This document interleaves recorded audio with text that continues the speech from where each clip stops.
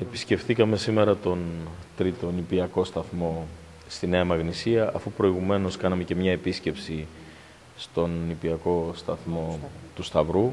Εκεί ήταν ένα σύγχρονο κτίριο με υποδομή υλικοτεχνική πολύ καλή και εδώ τα πράγματα δεν μπορεί να πει κανείς ότι είναι πολύ άσχημα. Όμως το πρόβλημα ξεκινάει από τις ελλείψεις που υπάρχει σε προσωπικό, κυρίως σε επίπεδο βρέφο-νηπιακών σταθμών. Έχουμε έναν σύγχρονο, όπως ενημερώθηκα και από την Βίβιαν την Αργύρη, την συνεργάτηδα και υποψήφια Δημοτικό Σύμβουλο, η οποία είναι νηπιαγωγός η ίδια, δεν λειτουργεί εδώ και σχεδόν δύο χρόνια, ναι, ναι, εξαιτίας της έλλειψης προσωπικού έχει ξεχωριστή σημασία στις δύσκολες στιγμές που περνάει η μέση ελληνική οικογένεια να υπάρχει δυνατότητα και να μην επιβαρύνονται οι οικογενειακοί προϋπολογισμοί, να μπορούν τα παιδιά να πηγαίνουν σε βρεφονιπιακούς σταθμούς. Θέλω εδώ όμως να αναφερθώ και να εξάρω την προσπάθεια που γίνεται από το προσωπικό.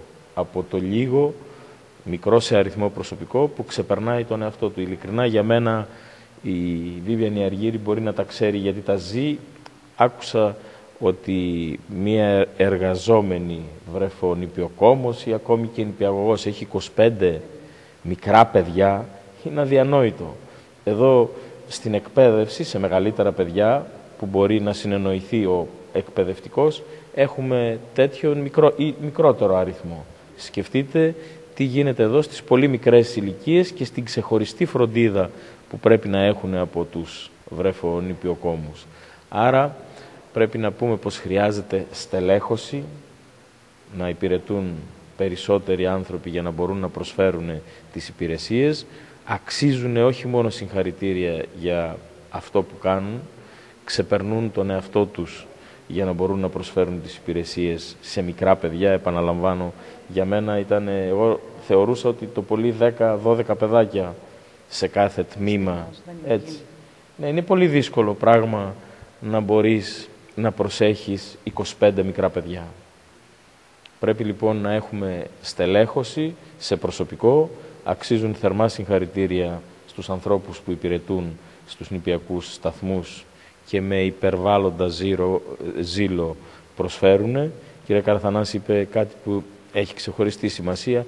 Όταν δένεσαι και αγαπάς τα μικρά παιδιά, τότε δεν λειτουργείς ως εργαζόμενος, τότε είναι σαν να είναι τα παιδιά δικά σου και προσφέρεις αυτά. Συγχαρητήρια λοιπόν για την προσφορά και αυτό που πρέπει να δούμε, τουλάχιστον εμείς θα το προσπαθήσουμε αν την επόμενη μέρα έχουμε την εμπιστοσύνη, είναι η στελέχωση με περισσότερο προσωπικό.